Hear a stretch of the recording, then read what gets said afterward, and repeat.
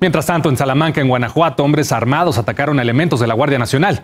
El saldo, tres lesionados y están de gravedad. Elementos de la Guardia Nacional fueron atacados a balazos la madrugada de este miércoles en el municipio de Salamanca, en el centro del estado de Guanajuato, cuando atendían una denuncia ciudadana. En el enfrentamiento, tres efectivos de la Guardia Nacional resultaron con lesiones graves y fueron trasladados al Hospital General Militar de la 12 Zona Militar en Irapuato.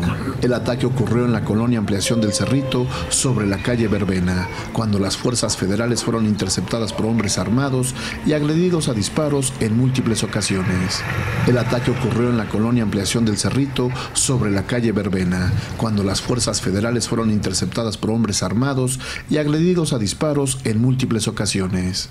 La alcaldesa de Salamanca, Beatriz Gutiérrez, informó que tras la agresión, elementos de la Guardia Nacional, Ejército Mexicano, Policía Federal y policías estatales y municipales realizaron operativos en la zona para dar con los responsables. Va a haber una estrategia de seguridad junto con la Guardia Nacional y estaremos trabajando en conjunto.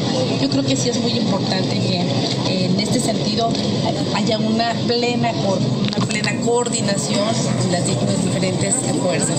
Efectivamente, nosotros aquí tenemos presencia de Guardia Nacional, eh, algo de presencia de Gendarmería y lo que es el mando la Guardia Nacional informó por medio de su cuenta de Twitter que la Coordinación General en Guanajuato realiza operativos especiales para dar con los agresores de sus elementos. Edgar Tamayo Enríquez, Noticieros Televisa.